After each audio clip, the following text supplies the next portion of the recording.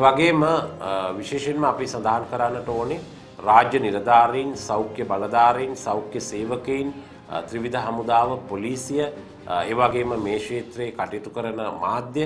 මේ හැම කෙනෙක්ම මෙම කටයුතු අකණ්ඩව දිවා රෑ අව්ව වැස්ස දහවල රෝග මේ සියල්ල නොතකා කටයුතු කරන්නේ රටේ ජනතාව වෙනුවෙන්.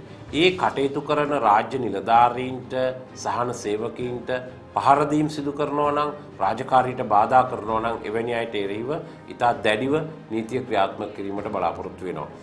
ඊයේ දින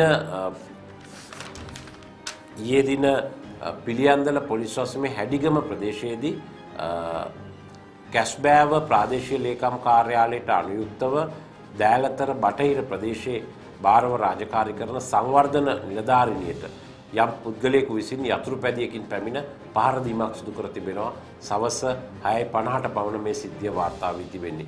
ඇය රුපියල් 5000 වියලි ආහාර පැකට් තම ප්‍රදේශයේ ජනතාවට බෙදා දීමෙන් අනතුරුව නිවසට යන අවස්ථාවේදී මෙම පහරදීම් සිදු කළ බවට වාර්තා වෙනවා. උදෙකලා කර ඇති ප්‍රදේශයක් බවටයි වාර්තා වෙන්නේ.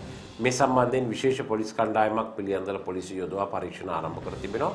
මීට මාස කීපයකට පෙර පසුගිය දෙසැම්බර් දෙවැනිදා බණ්ඩාරගම් පොලිස් වසමේ අටලුගම් ප්‍රදේශයේදී මහජන සෞඛ්‍ය පරීක්ෂකවරයෙකි මුහුණට කෙළගැසීමක් සිදු කළා යම් පුද්ගලයෙක්.